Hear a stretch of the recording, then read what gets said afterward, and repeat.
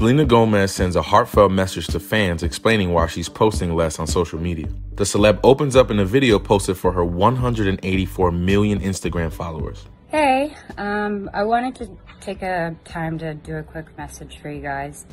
Um, because I haven't been posting that much, I just wanted to let you know that uh, I love you guys and I miss you, and there's so many exciting things coming up that I can't wait to share with all of you.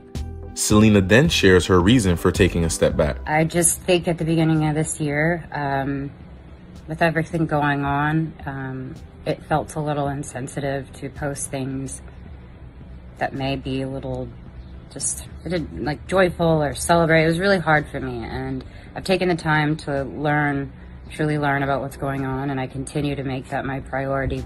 But it sounds like the celeb is ready to be a more consistent presence online.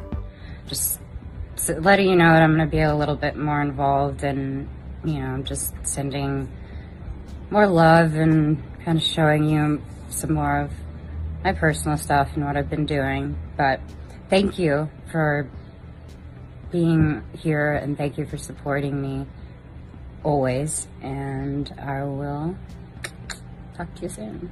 The start of 2020 was a big one for Gomez as she released her long awaited third studio album, Rare, on January 10th. Then, amid the Black Lives Matter movement and in the wake of George Floyd's death in late May, the star shifted gears on her social media platforms and used it to amplify black voices.